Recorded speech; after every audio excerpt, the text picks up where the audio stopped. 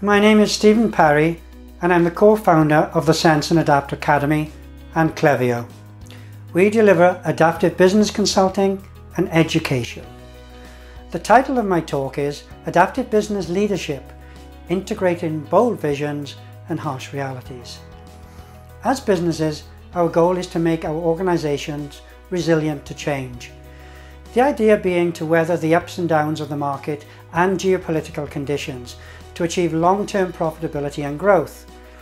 In this view of the world, changes are seen as exterior events, things that happen to a business outside of the normal run of affairs. This runs the risk of a negative view of change, that is change is something to be mitigated against, avoided, or at best managed. So, is there a different way to view change? And is there a different way for a business to approach how it reacts to change. Do we need a different type of leadership, even new organisational designs? Well, the answer is yes. And it begins with the recognition that change is the norm, not the exception, and requires new forms of adaptiveness.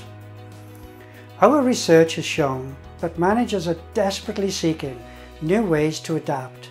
Specifically, they want to know three things. One, how to define a business strategy that has the flexibility to adjust to the changing markets and competitive disruption.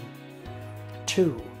How to create business designs that adjust continually without incurring the massive overheads of constant reorganizations.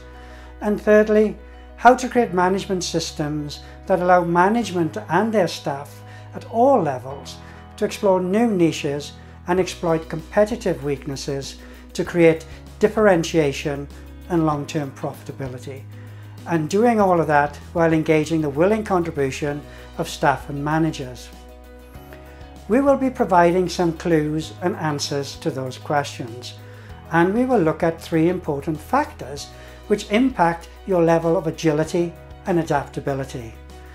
Primarily, how you choose to compete will determine your level of adaptiveness. Secondly, we need to take a closer look at your business purpose from a different perspective.